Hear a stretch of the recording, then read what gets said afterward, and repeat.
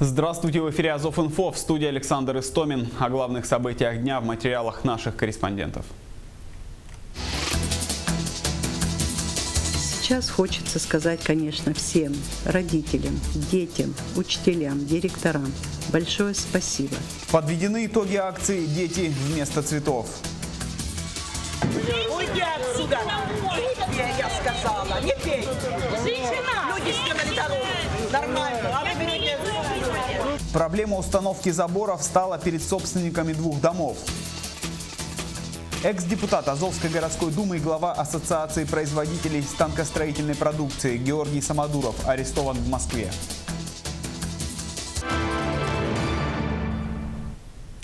Проблема установки заборов во дворах многоквартирных домов не раз освещалась в наших новостных сюжетах. Люди стараются огородить свою территорию и обезопасить себя от случайных людей, шумных компаний, сидящих на лавочках возле подъезда, а также чужих припаркованных автомобилей. Не избежали подобной ситуации собственники дома номер 30 по улице Ленина. Подробности в следующем сюжете. Жители дома номер 30 по улице Ленина обеспокоены строительством забора, который планируют поставить собственники жилого дома по улице Социалистическая, 62. По словам Валерия Летинского, в этом случае к ним не смогут проехать ни пожарный расчет, ни скорая помощь. Мы сейчас обеспокоены тем. Первое – скорая и второе – пожарная. Вот эти две. Остальное мы выйдем куда угодно. Ну, пройдем здесь, он мимо здания, там выйдем и так далее. Это, это не столь важно. То есть вам сказали, что закроют Мы проход? ска- нам сказали, что закроют там все, проход, как говорится, и все. То есть скорая пожарная будет заходить вот сюда, понимаете? Но там же девятиэтажка, там могут поставить машины. И первый подъезд, второй, третий могут зазеваться кто-то. А может быть поставит, понимаете, тот, который вообще в Азове приехал, ду- допустим, в гости, понимаете, он не знает еще наших тут правил. Он поставил там машину и все. Из-за него пожарная сюда не дойдет. Возмущению жителей не было предела. Одна из собственников жилья дома номер 30 пыталась не допустить специалистов к ремонтным работам. Уйди отсюда! Не пей, я сказала, не пей! Люди сделали дорогу. Нормально, а вы берете... Мы сейчас вызовем скорую, вас отправят куда надо. Дом здесь нормальный, и один, и другой. И на тебе, она огораживается. Кто позволил вам это делать? Кто? пожар, как будет Да это вообще безобразие какое-то. Не надо, это вы договаривались, это вы деньги собираете, но это не, не мы с вами договаривались. Чтобы разобраться в создавшейся ситуации, мы обратились за комментарием к старшему по дому 62 переулка Социалистического. Наш дом выиграл тендер по благоустройству двора. Э, Благоустройство двора, как видите, проведено э, хорошо, но появилась большая проблема. Все машины соседних дворов стали парковаться у нас. А, Это мешает и проезду скорой, это мешает всему остальному.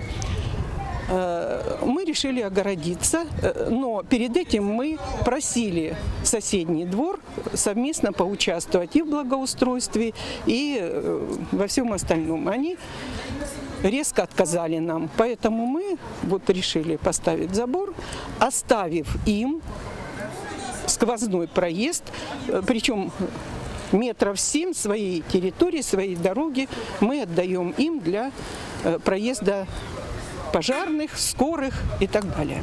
Как выяснилось, поставить ограждение было принято как вынужденная мера, и все собственники жилья были единогласны. Я за то, чтобы двор огородить. Почему? Потому что после того, как сделали вот этот двор, у нас со всего города приезжают машины. У нас сделали стоянку, автобусы, маршрутки, вообще чужие машины, которые мы даже и знать не знаем. Мы приезжаем э, с работы поставить машину, нам негде. Вот, поэтому мы за то, чтобы э, двор оградить. Что же касается самого забора, то жильцы дома 62 оставили проезд сквозным для служб быстрого реагирования. Ивана Пажельцева, Юрий Друзякин, Азов.Инфо.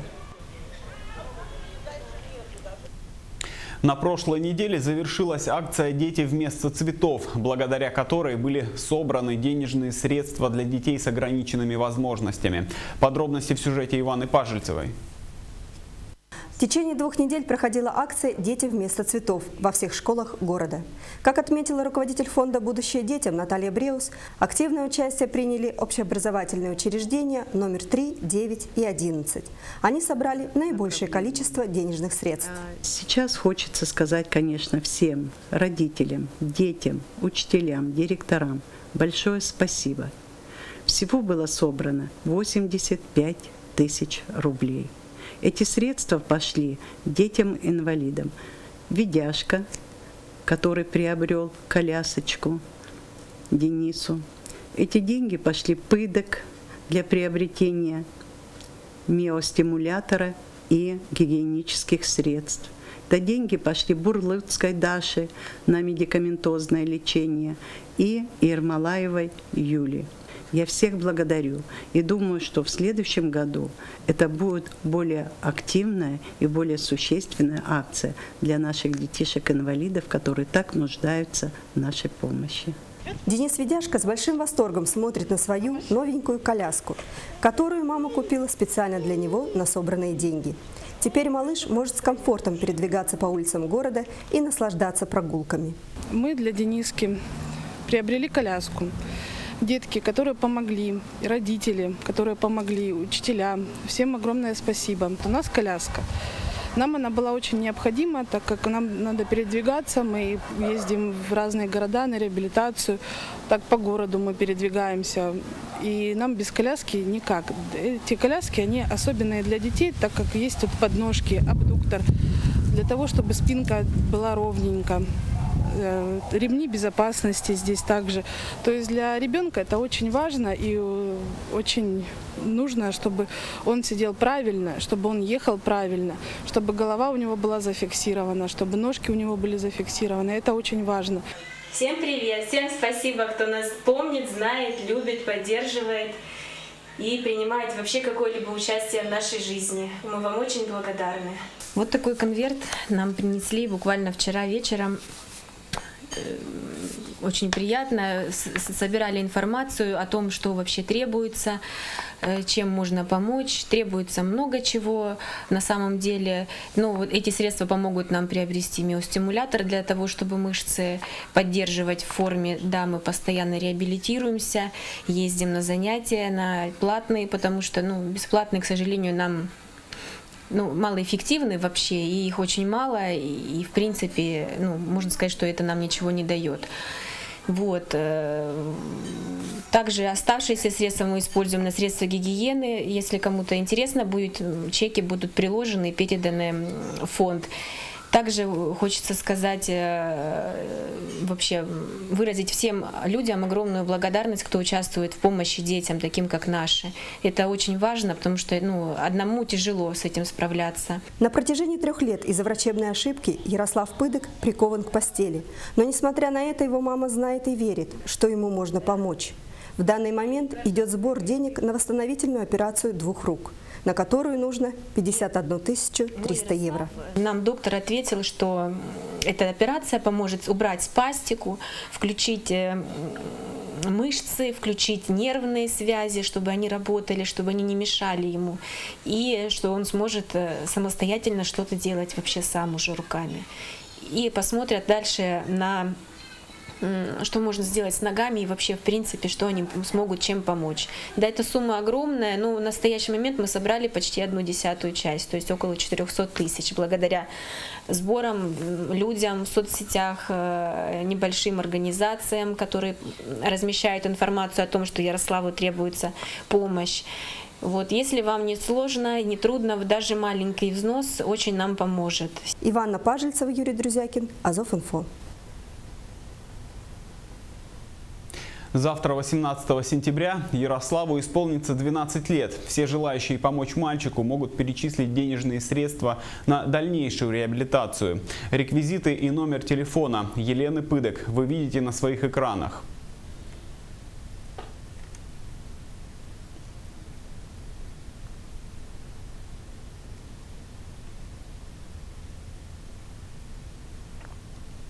В Москве арестован бывший директор Дон Пресмаша и экс-депутат Азовской городской думы, 64-летний глава станка-инструмента Георгий Самодуров.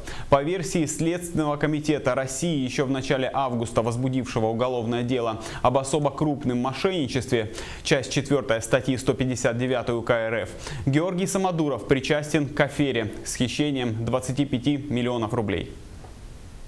Согласно фабуле обвинения, в 2010 году Георгий Самодуров обратился к одному из знакомых бизнесменов, попросив у него денежные средства в долг для вложения в развитие промышленной площадки, на которой работают связанные с ним предприятия ЗАО «Кузлит», КПО, ООО «Донпресмаш Энерго» и Азовский кузнечно-литейный завод. По версии следствия, Георгий Самодуров не намеревался возвращать заем, а сами деньги направил на погашение долгов других своих бизнес-проектов. В ответ на требование рассчитаться, как утверждает потерпевший, Георгий Самодуров пообещал возбудить на него уголовное дело. Угроза оказалась реальной. И несколько расследований действительно были начаты. Закончилось все тем, что компания заявителя оказалась в процедуре банкротства. По некоторым данным, конкурсный управляющий и обнаружил забытый долг по векселям. Он обратился с заявлением ФСБ, оперативники которые провели проверку и передали собранные материалы в СКР. Сейчас обвиняемого проверяют на причастность к целому ряду других крупных афер. 16 и 17 сентября в рамках восьмого тура мужской суперлиги по хоккею на траве на траве на домашнем поле хоккейный клуб Тана принимал сборную Санкт-Петербурга. О том, как проходили игры в следующем репортаже. После продолжительного перерыва хоккейный клуб «Тана» вновь порадовал болельщика домашними играми. Соперником стали гости из культурной столицы нашей Родины, сборная Санкт-Петербурга, которая занимает пятую строчку турнирной таблицы и на 8 очков отстает от азовских «Мамонтов». Две победы на выезде могли бы сократить отставание соперника и усугубить положение азовских хоккеистов в дальнейшем, но уже первая воскресная игра показала, что такое положение дел не устраивает «Тану». Результаты первого домашнего матча матча 7-2, в котором гости, открыв счет на 24-й минуте, получили 6 безответных мячей в свои ворота. До финального свистка соперники успели забить еще по одному мячу. Вторая игра по изобилию голов не стала менее насыщенной. Уже к 20-й минуте хозяева вели в счете 4-0.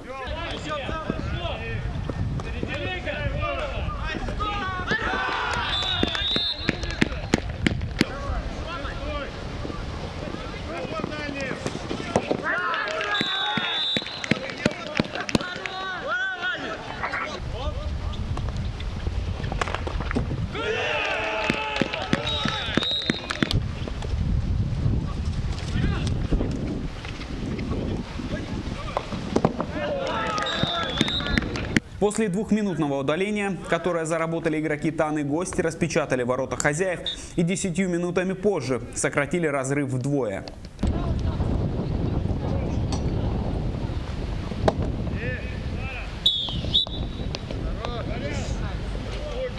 Вторая половина игры прошла под натиском питерских спортсменов. Шквал атак посыпался на ворота азовчан, но вратарская линия была надежно прикрыта Артемом Олейниковым, который сменил травмированного Ивана Ожерельева. Итог второй игры 6-4 в пользу Таны. Команда выкладывалась, ну, практически все, наверное, все из игроков оставили силы здесь на поле. И я больше чего уверен, что желание и рвение к победе было у всех. Ну, Хоккей на траве игра такая. Где-то не повезло, где-то еще что-то. Продолжили гнуть свою линию и, в принципе, под конец первого тайма отыграли два мяча и стало попроще где-то играть. Где-то э, удаление соперника позволили немного добавить. Ну, впрочем, вот так.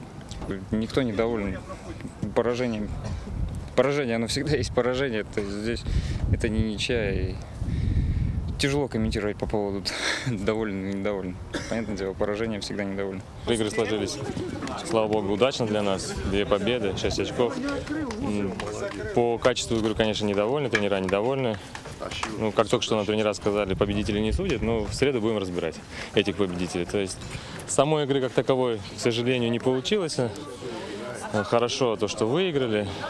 Ну, будем работать, будем работать над ошибками. И думаю, ну, следующим играм подготовимся лучше. А у нас, к сожалению, основной вратарь Ваня немного травмировался, но я думаю, это ненадолго восстановится. Ну, молодец Артем, он вышел уже не первую игру, он выходил в Свердловске, где мы одержали победу и сыграли в ничью. То есть он там неплохо себя показал, и здесь молодец, достойно заменил основного вратаря. Ему большое, конечно, спасибо. А по поводу провала, ну, провал заключался в том, что у нас было, к сожалению, два удаления невынужденных. Ну, соответственно, мы играли в меньшинстве. Ну, Тяжело было. Ну, вот тут, наверное, и немного подсели, да, и силы немного уже подустали немножко. Вот поэтому были немножечко такие провалы. И, ну, хорошо, что все хорошо заканчивается. Кто следующий соперник? У нас Москва. Москву принимаем дома. Ну, надеемся на лучшее, как обычно. Шесть очков в копилке Таны позволят продолжить борьбу за попадание в тройку сильнейших. Следующие игры с московским клубом пройдут 22 и 23 сентября на стадионе села Кулешовка. Александр Истомин, Азов.Инфо. И это все новости на сегодня. Впереди прогноз погоды. Звоните и сообщайте нам интересную информацию по телефону 6 15 54. Будем делать новости вместе. А я прощаюсь с вами. Всего доброго. До свидания.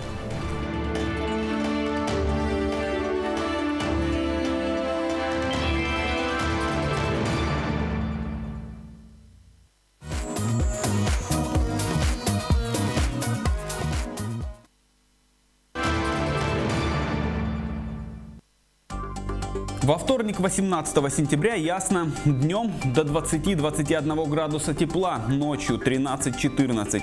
Ветер северо-западный 3-4 метра в секунду, влажность воздуха 67%. Уровень воды в реке Дон на 43 сантиметра выше нулевой отметки. Температура воды в реке плюс 17 градусов. Атмосферное давление 765 миллиметров ртутного столба.